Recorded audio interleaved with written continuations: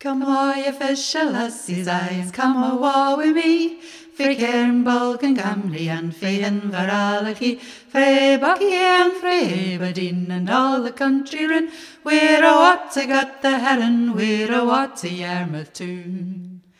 Rise up in the morning wi' your bundles in your hand, Be at the station early or you'll surely hate to stand. Tak plenty to eat and a kettle for your tea, or you maybe die of hunger on the way to Yarmouth Quay.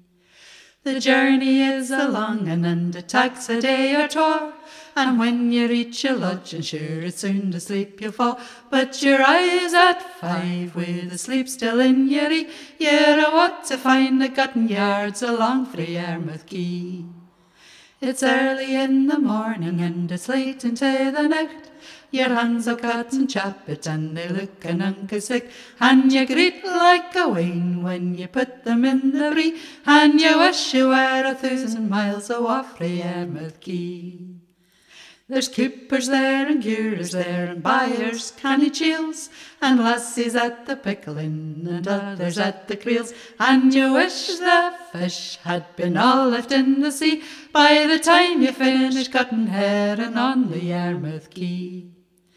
We've got it fish in Lerwick and in Stornoway and Shields, worked along the Humber amongst the barrels and the creels.